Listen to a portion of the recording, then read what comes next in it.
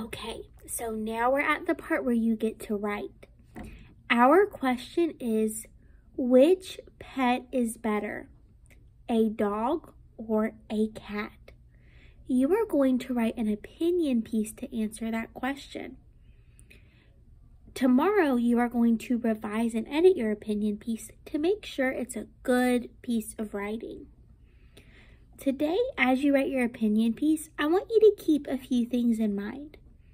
I want you to make sure that you're writing in complete sentences.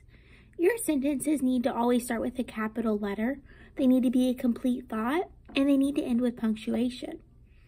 You also need to make sure that you have an opening to your opinion piece. Your opening is where you share what your opinion is. So you make a clear statement to tell your reader your opinion.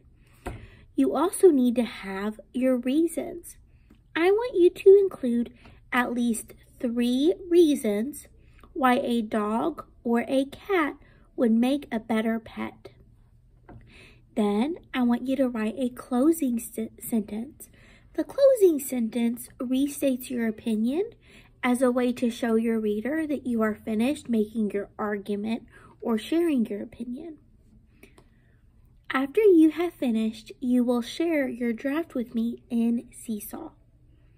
I'm going to click to quickly review what you need to do just to make sure you understand.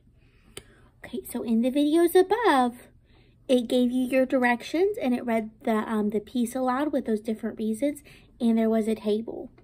You're going to use those resources to help you brainstorm reasons why a cat or a dog might be better. Then you're going to write an opinion piece sharing why the animal you chose makes a better pet, whether it's a dog or a cat. Then you're going to go to Seesaw and just take a picture of it to send it to me. Have a great day. Bye.